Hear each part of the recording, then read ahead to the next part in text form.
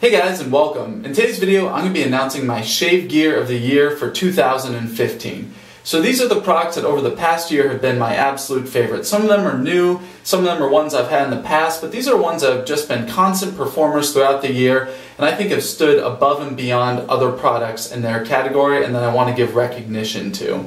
But first of all I'd like to thank all of you guys for your uh, viewership, your support, all the comments, likes, all that stuff of my channel this past year. My channel has grown substantially and that's obviously all thanks to you guys. So thank you so very much. I just want to share with you guys a few stats here about the channel. So over this past year, there have been 2.19 million views. And my channel only has about 3.5 million views total. So over this past year, that's accounted for almost two-thirds of all those total views. So thank you guys so much for that.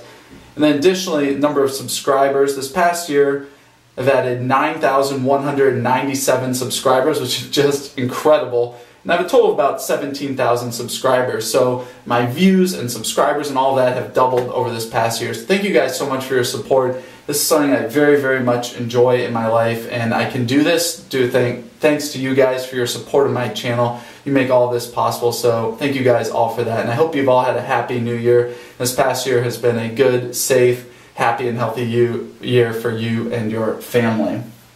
So without further ado, let's go ahead and get into the products. So the first product I'm going to be announcing today is my shaving soap of the year. I don't really use shaving creams, um, but they would be in this category too, just kind of shaving cream or soap. But this year it's going to be a shaving soap. And my shaving soap of the year goes to Barrister and Mann Seville. So and Mann produces excellent products. Their shaving soaps are amazing, and this award really goes out to all of their shaving soaps. This just happens to be my favorite scent of theirs. They also have a, uh, a lime cedarwood lavender that I really love. Their Ferox is incredible. Their Fougères are just amazing. I love their Fougères, and they have a couple others. Um, actually, most of them I really, really do love a lot. Oh, and their new Latha series awesome. The Oceana, I think, is my favorite in that series. But overall, when I'm looking at Barrister and Mann products, the Seville, that's my favorite scent. And these products, they just perform so well. They're very easy to lather up. The lather is just very thick and creamy. It's got great cushion. These have tallow in them, the soaps. And I think that tallow soaps, when you can dial them in, give me at least the best shave that I can have. And Barrister Mann has really stood out. So thank you, Barrister Mann. Excellent, excellent products. It's definitely well deserved. And I'm going to be featuring Seville. And Seville is kind of a barbershop scent with a little bit of, I'd say, a citrus twist on the classic barbershop. So that's all I'll be using for today's shave. It's down here blooming right now. All right, my safety razor of the year goes to the Merkur 34C.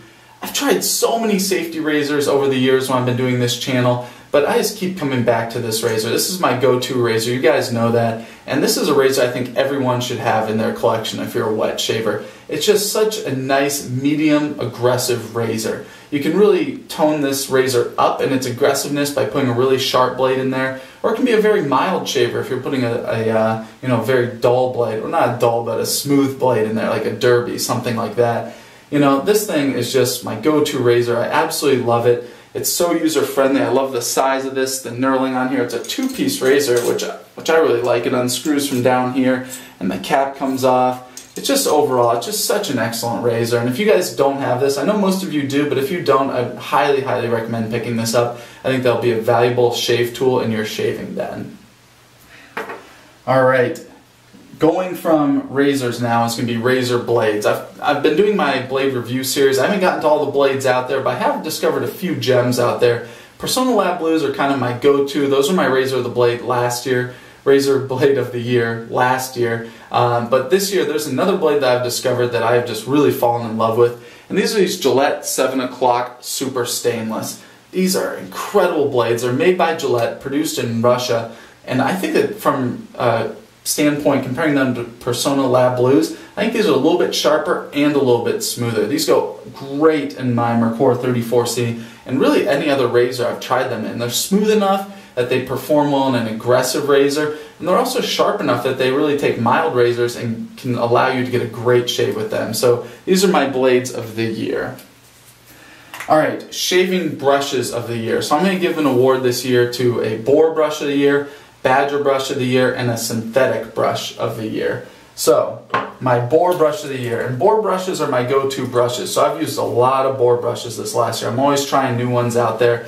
But this one is amazing. The Semogue 830. You can see it here. Acrylic handle. Beautiful boar knot. It's been blooming because I'm going to use it in today's shave. Look at the splay on that. It's unbelievable. This is a dyed boar hair knot. In the past, I've stayed away from dyed boar hair just because I think that boar hair is beautiful as is. I don't think it needs this dye in here to make it amazing. And I thought it used to actually detract a little bit from the beauty of it. But when they color this, they also process these hairs somehow. And this is just amazing. I don't really know what it is, but they are so soft. But it's also really densely packed, so it has that good backbone that, that I really like about boar hair brushes. And this thing just whips up a lather like crazy. It's so comfortable to use. Beautiful acrylic handle. My hat's off to Semogue for making this brush because it's really, really amazing. So, Badger Brush of the Year also goes to a Semogue brush. Um, this year I've used more Badger hair brushes than I've ever used in my shaving experience. And this is the brush that really kind of allowed me to start enjoying Badger hair brushes uh, due to its performance. And this is the Semogue Owners Club two band badger hair brush. This thing is just an amazing brush. It's so soft. Sometimes people say that these two band finest knots kind of have like gel tips. It kind of feels like gel on there uh, when the uh, when the hairs are wet, and I totally agree with that. So comfortable, but it's also very uh, densely packed knot. It still has a lot of backbone in there, so I don't really feel like I was having to use this too differently from my boar hair brushes. Just gave such an amazing experience. I absolutely love this brush. It is really, really amazing and definitely, um, definitely should be my brush of the year for Badger hair brushes. All right, synthetic hair brushes. So I have just started to get into synthetic hair brushes. I have maybe about eight, nine, ten of them around. I've been experimenting with them, uh, but so far one has really stood out, and this is the RazoRock Plissoft. This one is like, it looks a lot like the Plisson knot in there. Very, very soft tips, but it is just, it's really densely packed in there. It's got backbone. I like brushes that have a good amount of backbone. I feel like they allow me to load up the amount of soap I want, but also give me the, you know, the push I want on my face while I'm face lathering to work up the lather. And this brush has just absolutely done it for me. I really, really do love this Plissoft brush. And it's only like $9.99, so it's a great deal on top of it. All right, my post-shave uh, regiment of the year. So I'm going to give an award to a uh, an alcohol-free post-shave, um, like splash or tonic, a kind of a more balm, an aftershave balm that I've liked, and then alcohol-based uh, aftershave. So my alcohol-free one goes to the Lucky Tiger Aftershave and Face Tonic. This stuff is really, really nice. It's actually made in Milwaukee. Uh, I started using it first not as an aftershave, just as a face tonic. I'd put it on my face in the morning um, after I got out of the shower and then at nighttime before I go to bed. I noticed it really helped clear up my face. I know everyone gets a little bit of imperfections here and there from time to time, and this stuff has just really cleared up my face. I've started using it as just an aftershave too, and I love this stuff. It really helps prevent any irritation, stuff like that, cools down your face after the shave. Alright, then for the balm, I really like putting on a balm, especially in the winter months. Just kind of helps lock in the moisture so my skin doesn't get too dried out. I have pretty sensitive skin, if I don't put on balm, my skin will get dried out just like that. So my aftershave balm of the year year goes to Soap Commander. And here I have it in the uh, Integrity scent or unscented. It's their unscented uh, variety of this aftershave balm. And it does have a little bit of menthol in there, which is really nice. It adds a little bit of cooling sensation. It's not overdone. Very, very uh, light and easy on your face. Great stuff. Has aloe in there, distilled water, avocado oil, sweet almond oil, emulsifying wax, um, shea butter, just awesome, awesome ingredient list on here. Comes from also a great company, great packaging. Really, really do love this aftershave balm. All right, now for an alcohol-based aftershave, this year it goes to Fine Platinum. So Fine makes a whole range of aftershaves. That's what they really specialize in. They have a bunch of scents out there, and I really do enjoy all of their scents, but this one is just really, really nice. It smells like a nice men's cologne. It's really, really just a special scent. It kind of uh, is supposed to, I guess, be modeled after Creed Aventus, which is a great cologne. I have tried it before, but it's really expensive. For a bottle of that, it's like 200 bucks, and this is $15. And I really like their packaging too. It comes in a nice glass bottle, kind of looks like a flask. It has that contour there. Really, really awesome stuff. I really love this. My wife loves this scent, and so you can see it's actually my second bottle of it this year, and it's already almost half gone. Love this stuff, and I highly recommend it. All right, the last two things are things that are just kind of shaving accessories that I think everyone should have around. I use them uh, when I need them, but one of these I use all the time with every shave, and that's an alum block. I have the RazoRock alum here, and it is just, it's awesome. You know, pretty much all alums, when it comes down to it, behave the same. I can't really tell a difference between different alum products from different companies. I have the RazoRock one here. I use it every shave. I keep it right here next to my sink at all times. I always wet my fingers and rub it here on the top of the block when I'm grabbing my shaving brush or my razor. It gives you that little bit of extra grip on there that I, I just feel like I need. And I feel like it adds some quality of shave because I have better control over my shaving tools. All right, last one for the year. Uh, I do think this is definitely worth mentioning. Styptic pencil. This is the Clubman Pinaud Styptic pencil. Um, I've unfortunately had to use it a few times this year. You use this if you get a really bad cut on your face. You just wet this stick in water, and then you just rub it on that area of your face, and it closes it up almost immediately. You know, unfortunately, we all have those times when we're going to cut ourselves and we need something like this around. And I'm really, really happy that I've had this available for when I have needed it. And it's pretty cheap. You know, you can get one for like somewhere around like four bucks. This is the jumbo size. It's a one ounce uh, styptic pencil. And, you know, I definitely think you guys should have one around if you are wet shaving in any regard with either a straight razor or a safety razor. All right, let's go ahead and get started with today's shave. I just got a shower. Facial hair is nice, cleaned out, hydrated, ready to go. I have one day of facial hair growth. For today's shaving soap, I'm going with the Barrister and Mann Seville. It was here blooming while I was in the shower. Go ahead and add the bloom water to my face.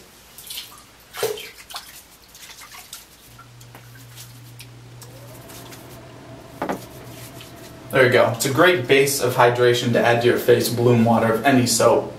I really do bloom before I shave every single time.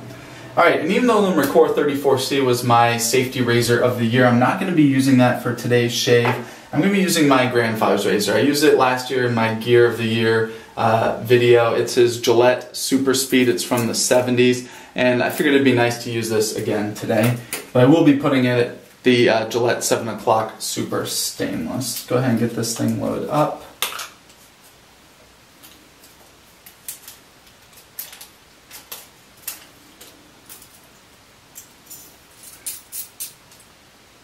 Alright, this thing always lines up perfectly the first time I put a blade in there. It's really well made.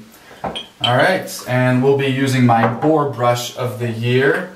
Need to dip my fingers in that alum because it's slick from the bloom water. There we go. Once again is the Semogue 830. Look at that thing. I love how this brush blooms. It's just so beautiful. Alright, can you go ahead and load up?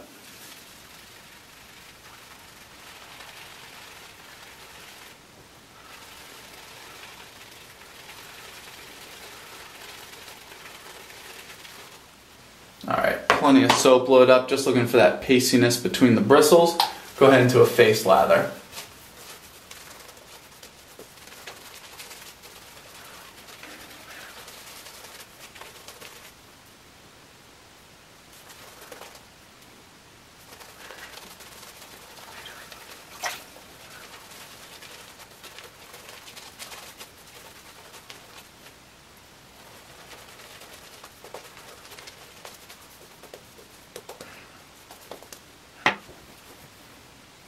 Perfect.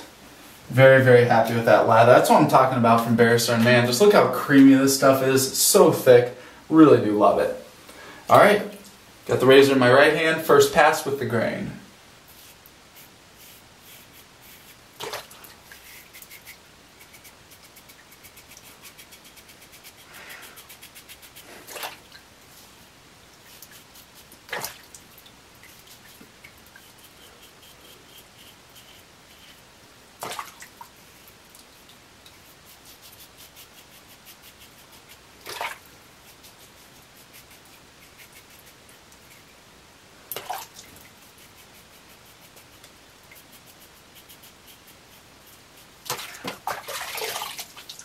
You go. Good first pass. These these vintage Gillette razors, they uh, they are quite mild, so I think it takes a full three passes to really get to where you want, but it's a really good first pass. Just paint on my next lather. Oops. Alright, second pass, cross grain this direction.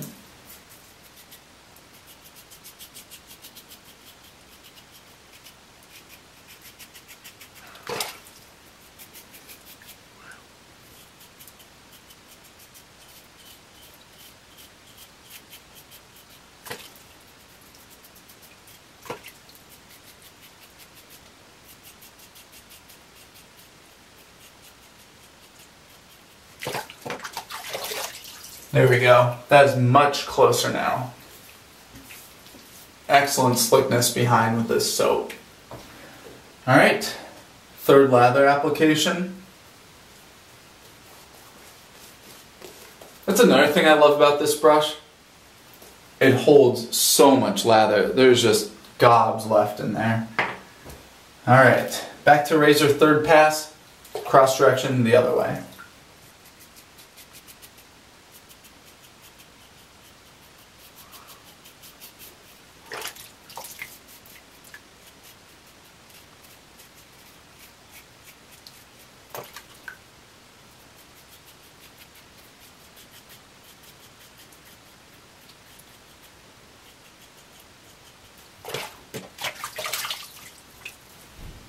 Very good. All right, feeling back here.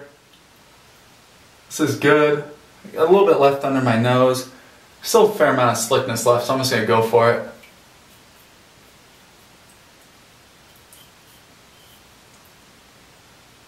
Got it. All right.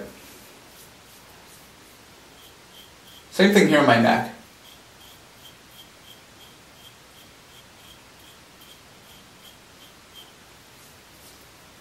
There we go. Come back here, I'm actually really happy with where it's at. You're good. There's always a few little areas I want to get closer. But I don't think I need to do a full formal cleanup pass. I actually really like this. Alright, I'm gonna go ahead and get cleaned up.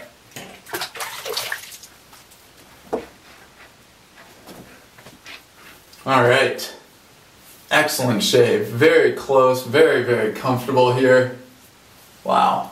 Really, really like I really like those Gillette 7 o'clock super stainless blades. Those are just amazing performers and they perform great in the Merkur 34C. I obviously didn't use that today. I used my grandfather's razor, but those blades in that razor are superb and really any other razor I've used them in. Alright, post shave today. I'm to be going with the Lucky Tiger.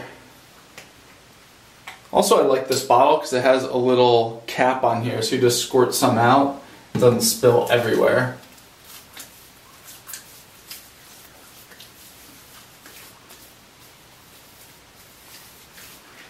Alright, there we go. And then I'm going to put on a little bit of the Soap Commander Post Shave Balm.